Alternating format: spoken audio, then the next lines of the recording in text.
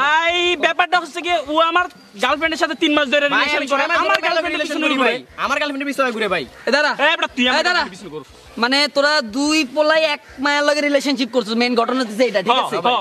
মানে তুইও কর তোর গার্লফ্রেন্ড তুই কর তোর গার্লফ্রেন্ড আমার গার্লফ্রেন্ড মেয়েটা একটা ছেসরা কি বলো ঠিক আছে একটা বেদব মেয়ে। এরকম মেয়ে আমি দেখছি এটা কোন এলাকার? এইসব ছেসরা মেসরা আমাদের এলাকা কি? এইসব এইসব কি মানে বাপ মা ভাই বোন নাই না? এইসব মেয়ে নষ্ট হয়ে গেছে নষ্ট হয়ে গেছে। কিছু কোন জায়গা? আমাদের এলাকার কোন জায়গার নাম কো? ওই দুইশো পঞ্চাশ নাম্বার বাড়ি? নাম কি পুরা? মিথিলা চৌধুরী। হ্যাঁ মিথিলা চৌধুরী। মিথিলা চৌধুরী দুইশো পঞ্চাশ নাম্বার বাড়ি।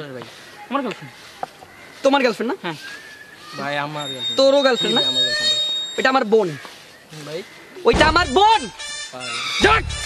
কি বলে মান সম্মান এলাকায়